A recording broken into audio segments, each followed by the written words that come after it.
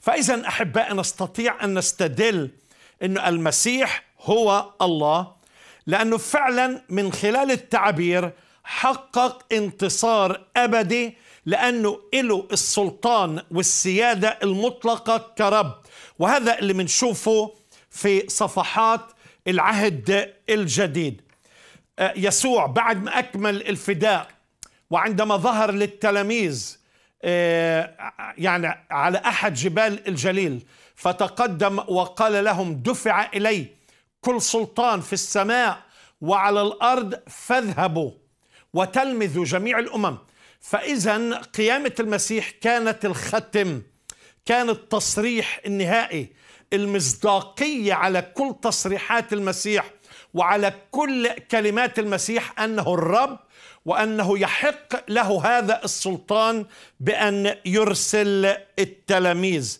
أن يعملوا هذا الأمور يتلمذ جميع الأمم وعمدوهم باسم الآب والابن والروح القدس وعلموهم أن يحفظوا جميع ما أوصيتكم به. ها أنا معكم لاحظ الكلام بيحكي للتلاميذ بعد القيامة. ها أنا معكم كل الأيام إلى انقضاء الدهر إلى انقضاء الدهر. من يستطيع أن يقول هذه الكلمات؟ ومن يستطيع أن يرسل غير الله له كل المجد. اسمع ما يقول الكتاب. بالحقيقة كلمة رب في العهد الجديد موجودة 650 مرة هذا اللقب للرب يسوع. مرات أحيانا الرب معناه كمان السيد مثل لما بولس بيتكلم عن السادة والعبيد لما بحث العبيد إنه يطيعوا السادة. وطبعا في أفسس يقول أيها السادة قدموا للعبيد العدل والمساواة عالمين أن لكم أنتم أيضا سيدا في السماوات في كولوسي أربعة.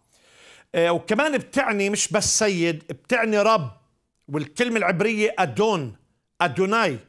والكلمة اليونانية كيريوس تعني رب أو سيد أو كما يطلق في الأرامية رباي يعني يا معلم. وتطلق هذا هذا اللقب يطلق على الاسم الشخصي للإله يهوى يهوي في اللغة العبرية. فقال الله لموسى أهيا الذي أهيا.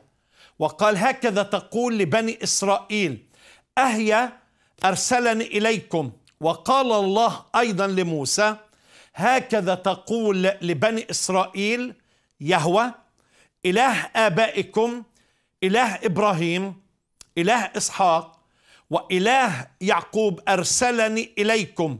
هذا اسمي إلى الأبد وهذا ذكري إلى دور فدور. خروج إصحاح ثلاثة والآية 14 والآية 15